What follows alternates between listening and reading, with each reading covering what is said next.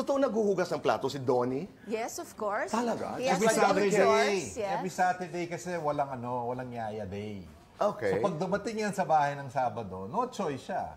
Pwede siya magluto, pwede siya maghugas, Yeah. pwede siya magwalis. But you have to be part of the chores for that day. Uh, and you're also talking about, you know, in fairness, like I, I know Ella is is getting married this Yes. year. Oh, yeah. She's a personality. She's a social media personality herself. So sa bahay, walang walang Ay, superstar wala. superstar. Basta nasa bahay, walang pinag-uusapan na status kahit saan. Lahat tayo pantay-pantay ng mga anak sila, kami yung mga magulang. Kahit na kami, kasama kami sa chores. Kasi walang Ever since. Ah, okay. All right. Let's let's go to the book. Ah, ba- bakit tinawag niyo ito na marathon? Well, ang tag ang Ang tagal. haba.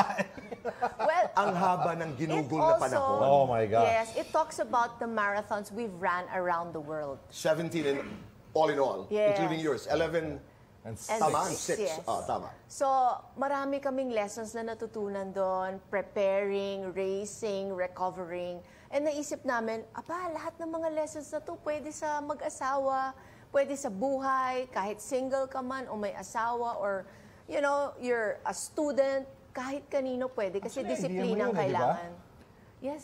It was Alam mo, your you know. Tito Boy, it just hit me right now. Kahit yung mga seminars ko, sabi na, Anthony, Han, ba't di natin gawing pangpamilya?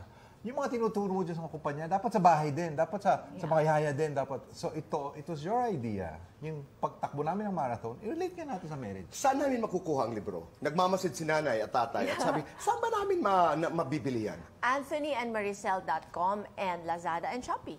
Okay. Online, online. Chapter 1 is your favorite. Yes. Make the decision. But I know we can discuss the whole chapter.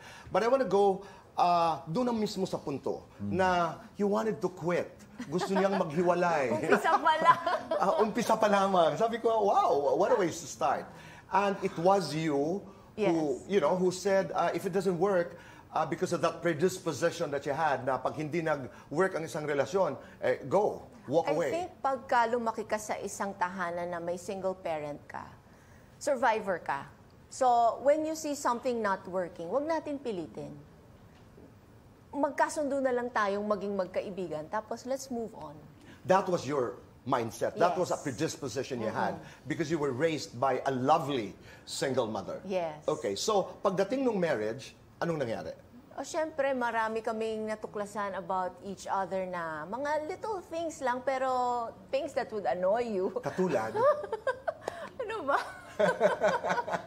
Alam mo, problema kasi Sometimes kay I don't even Maricel, remember.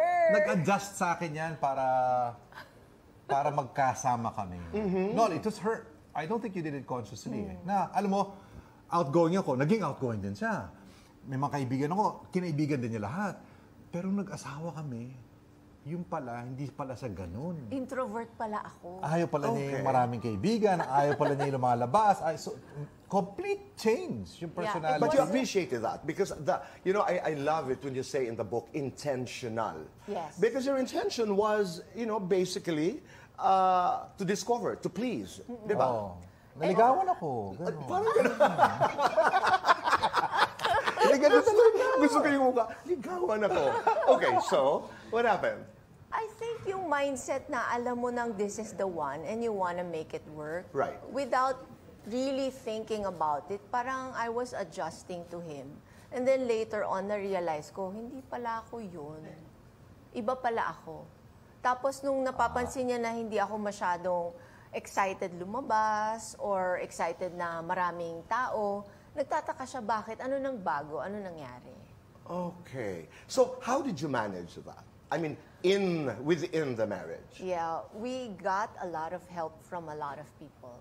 Parang marathon yan. Kailangan mo ng coach, ng mentor, kailangan mo yung pumapalakpak sa sidelines. Otherwise, you will quit. Yes. And you make a decision. You make a decision when you get married, di ba, pag wedding day. Pero araw-araw pala kailangan magdesisyon ka.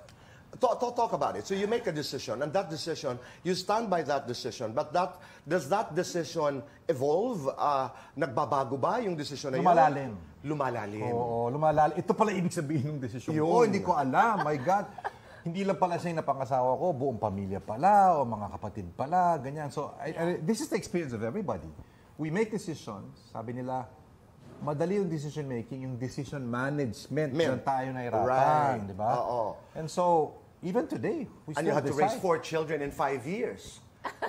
di, di- di ba? I mean, Hindi uh, namin bahagi inaasahan yun ng- Sobrang stress. yun. Pero Okay. lahat ng bagay kasi na nangyayari sa mag-asawa, pagka all at the same time nangyayari, nakaka-stress yun. Alam, alam niyo ba yon Tito Boy, that good experiences, kahit na napakaganda niyan, pag sabay-sabay, ikasi stress mo. Can overwhelm. Di ba? So, ang daming mga, ang dami namin ka- kaibigan na new house, na, na-promote, nagbakasyon, tapos nangutang para Tapos kung ano man. nagkaanak. Nagkaanak. And then, ang ganda sana lahat nun, but in one year, they separated. Pero kayong dalawa, ah, dumating din ba sa punto ng inyong marriage na nawalan kayo ng pera that you went through tough, rough Yes, times? yes. Meron din? Yes, there have been times Kapon.